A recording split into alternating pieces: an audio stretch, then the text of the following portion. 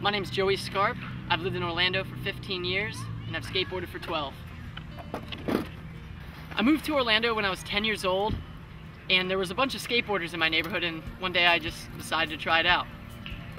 I didn't think too much about it when I tried skateboarding for the first time, but I do remember the next day at school, I just couldn't stop thinking about skateboarding. It was just nothing but skateboarding. I just wanted to get back on that board and just ride and just learn new tricks.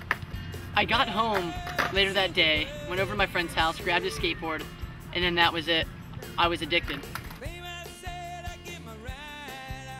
I feel like if it weren't for skateboarding, I'd be doing a lot worse things. I feel like skateboarding has provided me with that positive outlet just to do something I enjoy and constantly progress at something. When I skateboard and there's a new trick I want to learn, I usually can't do that trick first try. I usually have to try, I fall, and I keep trying until I finally get it.